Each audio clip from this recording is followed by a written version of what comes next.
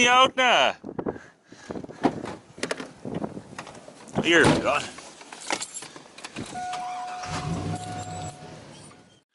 The old clapper made it. Got the rusty, rusty 3030 trail camera. Go put that out. To have some bait right there from last year that was sitting in sitting in the shack.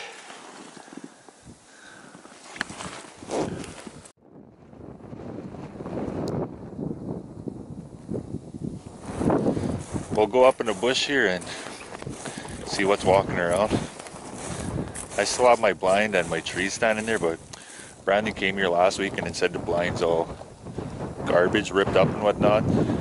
It sat out there all winter, and maybe a bear ripped it up this spring. This is the first time I've been here since probably February. was the last time I came look at that blind. Here's where I was standing last year when I shot that tree. There's a deer up over there. And the 30-30 let me down. Pop the tree instead.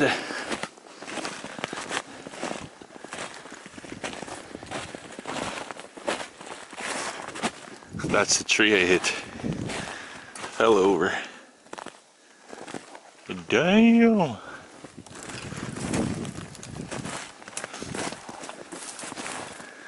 There's my blind. Shaking my head. That is nothing but garbage now. I should have came grab it, but my tree stand's still here.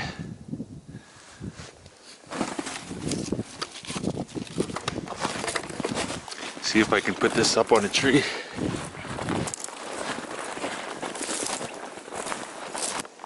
That's all that I had left from Rack 'em Up Deer Attractant. Apple Extract. My trail cameras right here. Ready to go. Tree stand up in the tree there.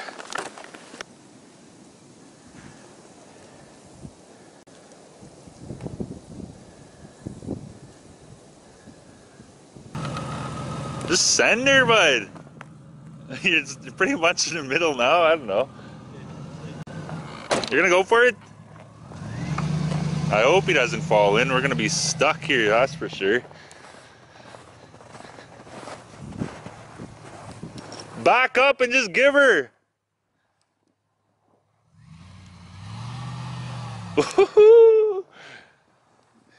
He's going for it.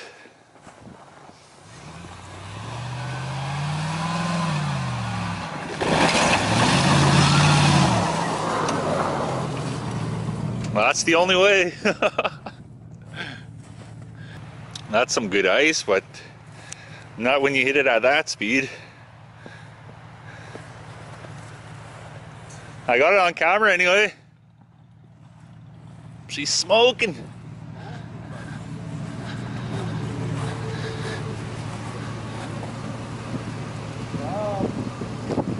Well, I hope there's not any more puddles. We might have to turn around and come through here again.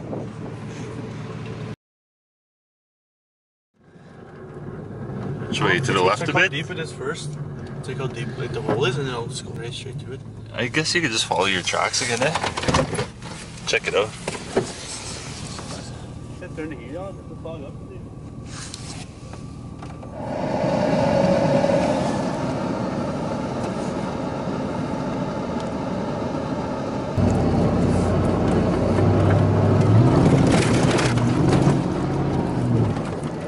That's it. Would have gave her right out of here, those puddles.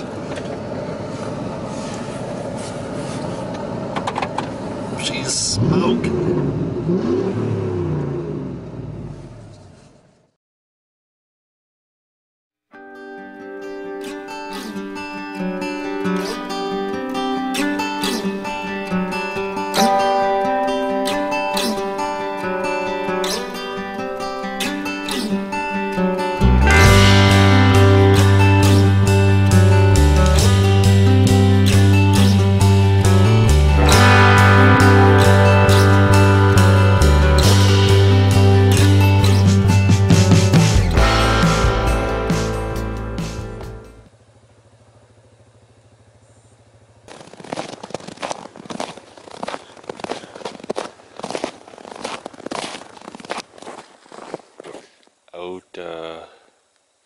The middle of nowhere with Daryl. Just got out here, unloaded the quad, and I grabbed my gun and started walking. Daryl's going on his quad. I think it was two years ago we came walking back here in the morning like this and shot a deer up on this road and then later on that evening I shot a nice buck down the road over here where we came in. But today's plan is to drop a deer or two, make some jerky, hopefully doe or buck.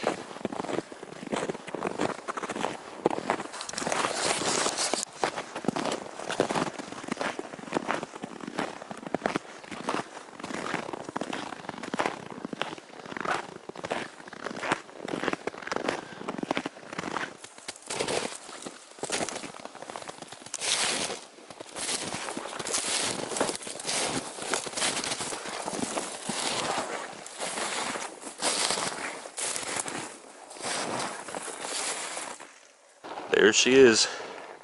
We just drug it out of the bush.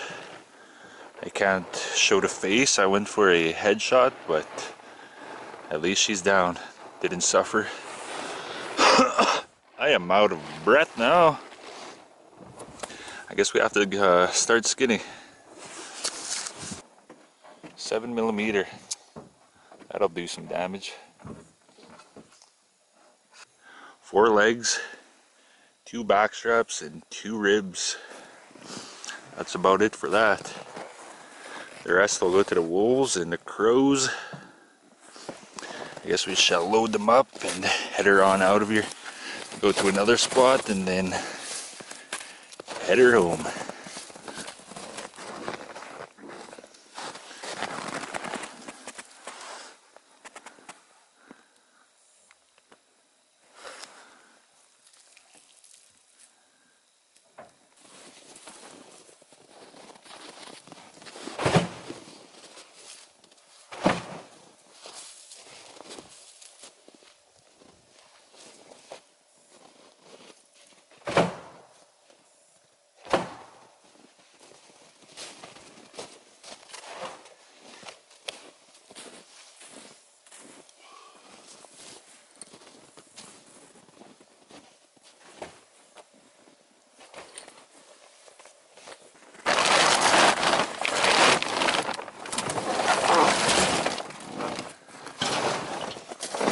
Half an hour later and we're at a new location.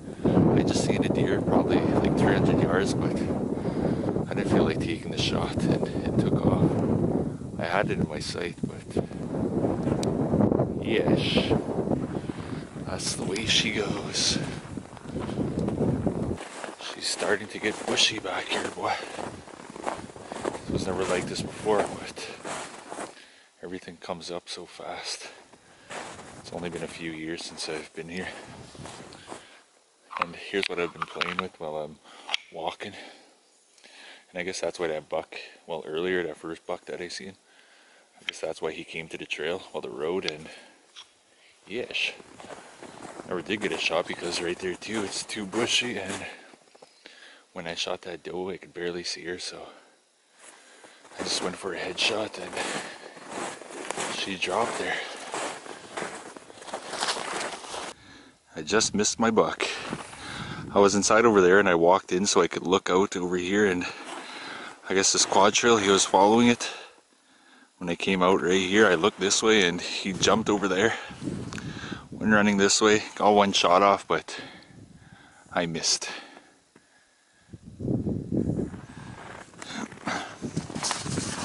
I did go check for blood.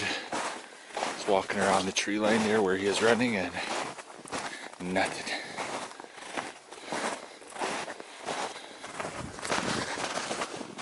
Look at this dude.